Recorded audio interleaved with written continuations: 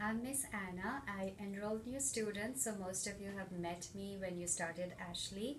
I also check on your attendance, so if you're absent, I'm the person who contacts your parents, and I'm also the person who sends report cards to you guys. It was good seeing you all.